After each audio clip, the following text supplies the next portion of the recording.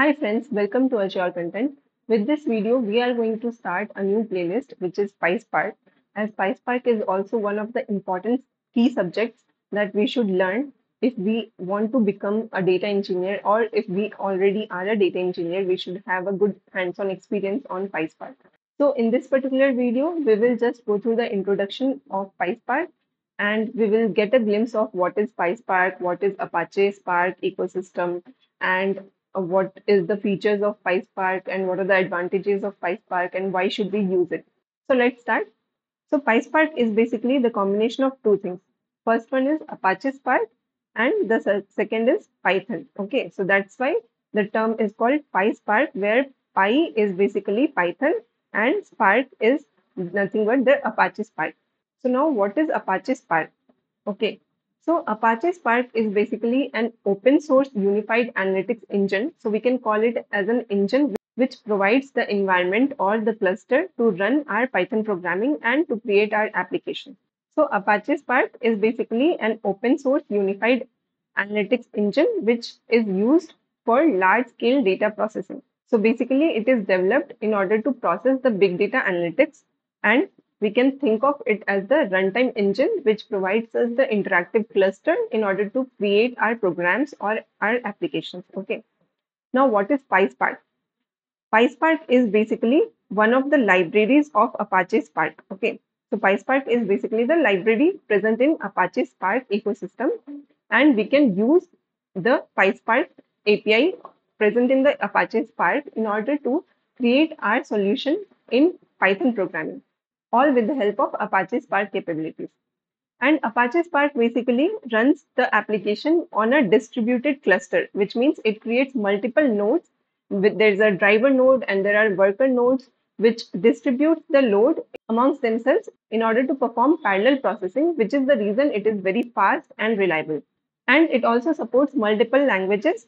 Basically, it provides API and libraries in order to write codes in multiple languages, which is Java, Scala, Python, and R. But in this playlist, we will be talking more about Python, which is nothing but the PySpark. Okay. And Scala is basically the native language of Apache Spark, where most of the core components of Apache Spark are written natively in Scala language. But our focus would be to learn Python on Spark platform, which is nothing but PySpark. Okay. So now what are the features of PySpark? So now these are the few features of PySpark. It has in-memory computation, which means it caches the data in order to retain and reuse the data so that it can be processed in a faster way. And it has lazy evaluation, which means uh, that as soon as the data transformation is written, it does not execute the code, but it executes the code when the action is triggered. Okay. And it also has fault tolerance, which means the application won't stop when something goes wrong. Okay. And it's also immutable, which means the dataset won't be able to change once you create it. You need to create a new dataset. And it also allows parallel processing with the help of partitioning. And it is persistent and reliable. And it performs coarse grained operations. Now, moving on, there are multiple modules and packages present in PySpark. For example, PySpark RDD, which is nothing but resilient distributed dataset and PySpark data frame and SQL, PySpark streaming, PySpark machine learning libraries, graph frames, and PySpark resources. All of them are not required in data engineering field. There are some which can be used in data science field. And then Apache Spark ecosystem comprises of various APIs and libraries. If you see this image, there are libraries for Apache SQL, Apache streaming, machine learning libraries, and then GraphX. And then there are core APIs for various languages like R, Python, Scala, Java, and SQL. And we are going to learn about the Python API in this playlist. Okay.